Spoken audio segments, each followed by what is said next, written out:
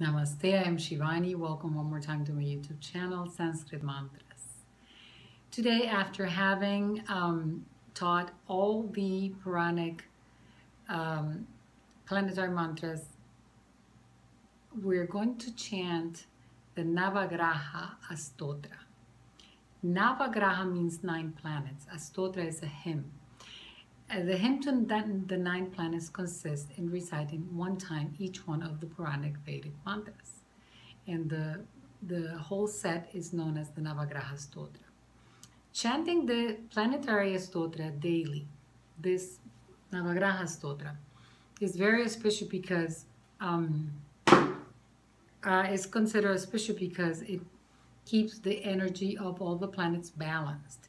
And don't forget that what it does is that it gives, bring, brings us all the attributes of all those nine planets in the form of wealth, in the form of love, in the form of good luck, in the form of removing obstacles, in many, many forms. Eh, so when we chant this mantra, this astotra, this hymn every day, we set, eh, especially if we do it first thing in the morning, we set our day off to a really good start.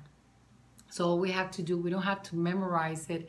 I have been teaching each one one by one and chanted it 100, I mean 54 times each so that at least you can uh, master the pronunciation even if you don't memorize it you can read this mantra every day like you can have it uh, printed in your nightstand and read it every morning when you get up this is gonna change your life if you do it. It's really going to be um, very, very empowering.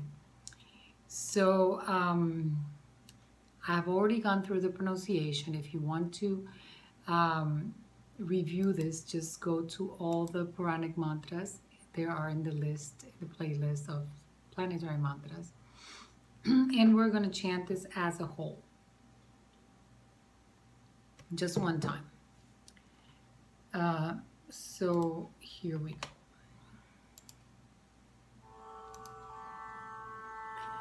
नवग्रह स्तोत्र ओम श्री गणेशाय नमः जपाकुसुमसङ्कर्षं काशपेयं महाद्युतिं तमोरिं सर्वपापाग्नं प्राणतोऽस्मि दिवाकरम् ॐ सूर्याय नमः ताधिशङ्कतुषाराभं क्षीरोधार्णवसम्भवं नमामि शाश्रीनं सोमं शाम्भूर्मुकुतभूषणम् ॐ चन्द्राय नमः धरानि गर्भसम्भूतं विद्युत्कान्तिसमाप्रभं कुमारं शक्तिहस्तं च तं मङ्गलं प्रणमम्यहम् ॐ अङ्गरकाय नमः।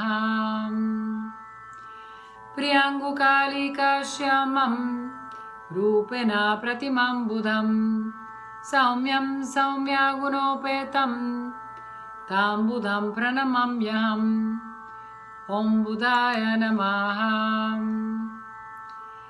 देवनं च ऋषीणं च गुरुं कञ्चन सानिभम् उधीभूतं त्रिलोकेशं तं नमामि बृहस्पतिम् ॐ गुरुवे नमः।